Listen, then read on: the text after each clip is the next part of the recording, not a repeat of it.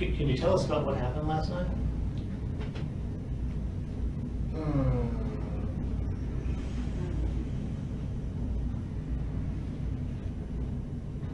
Whoa. Yeah, I mean, I just. I went to that church in Charleston. And, uh. You know, I. uh, you know, I did it. We did what? Well, you, I mean, uh, I know it's tough sometimes to to say. Uh, it's not that I don't want to say it because I don't want to make myself seem guilty. I just don't really like saying it. But I know sometimes we have to face those things, the realities. You know. We don't want to put any words in your mouth. That's why. Right. That's why Agent Stansbury just was asking what it exactly is that you that you that you did do. Well, I did. I killed.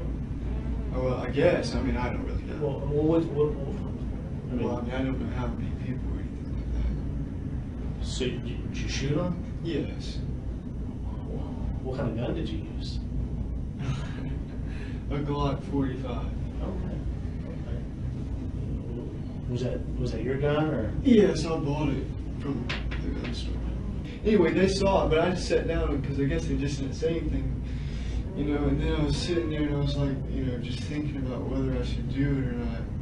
You know, that's why I was sitting there for 15 minutes, just like, uh, you know, like, because I know I could have just walked out, you know, because they didn't say anything to me about what, you know, the thing on my belt.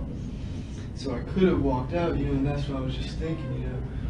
But then I just, you know, like it just, uh, like, I don't know, it's like, not, I, you want to say spur of the moment, but you know, I just, I just finally decided I had to do it.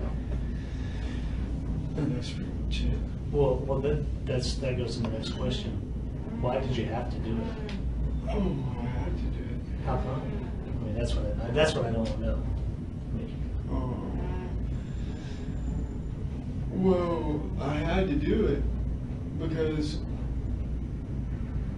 somebody had to do something.